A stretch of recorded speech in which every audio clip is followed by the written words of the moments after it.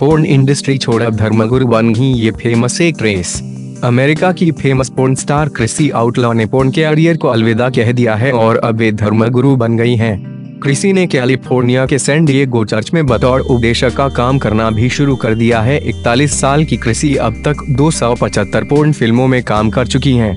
Chrissy बताती हैं कि वे हर महीने करीब पंद्रह हज़ार डॉलर करीब नौ लाख पैंसठ हज़ार रूपए कमाती थीं और पार्टी, शराब और ड्रग्स की आदि हो चुकी थीं।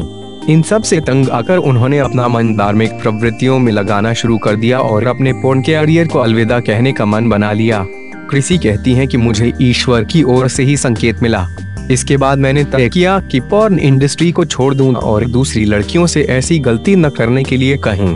कृषि आगे कहती हैं कि पोर्न इंडस्ट्री में सिर्फ़ दिखावे की लाइफ है मैं नहीं चाहती कि जो गलती मैंने की, वो बाकी लड़कियाँ भी करें। इसी के चलते मैं अब कई एंटी पॉन वेबसाइट के साथ भी काम भी कर रही हूँ। कृषि कहती हैं कि जब मैं तेरह साल की थी, तब भी मेरी माँ की मौत हो गई थी।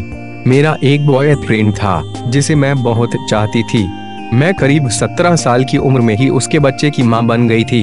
मैंने सोचा था कि बच्चे और उसके साथ मैं खुशी से ज़िंदगी बिताऊँगी। लेकिन, उसी दौरान बॉय फ्रेंड ने ज़बरदस्ती मेरा अबॉर्शन करा दिया। पिता भी मुझसे अलग हो गए थे और मैं घर खर्च के लिए बॉय फ्रेंड पर डिपेंड थी। वह सिर्फ़ मुझसे फ़िज़िकल रिलेशन ही नहीं बनाता था, बल्कि इसके पोर्न वीडियो भी बनाता था। कुछ समय बाद वह भी मुझे छोड़कर चला गया और मजबूरी में मुझे पोर्न इंडस्ट्री में आना पड़ा, जो मेरी सबसे बड़ी गलती थी।